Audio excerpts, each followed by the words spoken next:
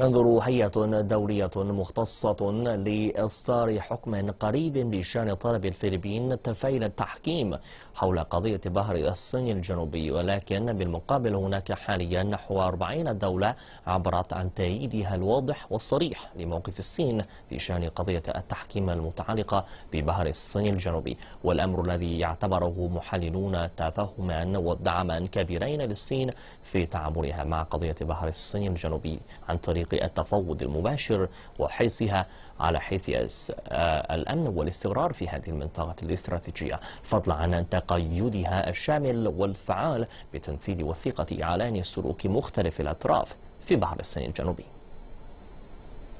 في الثاني عشر من الشهر الجاري شدد الإعلان الصادر عن الدورة السابعة للاجتماع الوزاري لمنتدى التعاون الصيني العربي الذي عرف باسم إعلان الدوحة على أن الدول العربية تدعم موقف الصين بشأن طريقة حل النزاعات الحدودية والبحرية مع الدول المعنية والذي يستند سلميا إلى التفاوض الودي والتشاور بموجب الاتفاقيات الثنائية والتوافقات الإقليمية المعنية.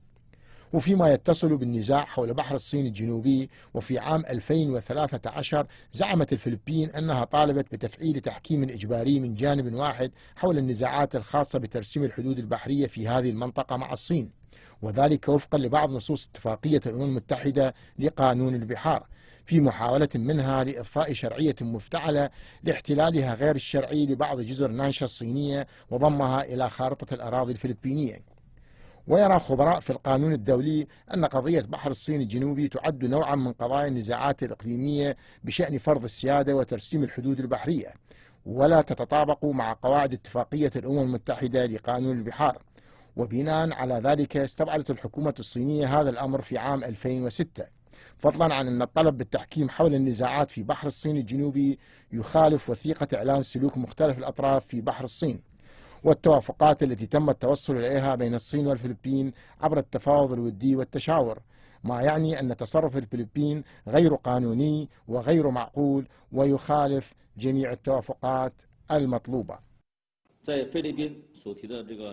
بموجب الاتفاقيات لا يمكن لهيئة تحكيم أن تقرر ما تشاء فيها يتعلق بتحديد سلطة الإدارة بل عليها أن تعمل بحذر داخل النطاق الذي حددتها الاتفاقية.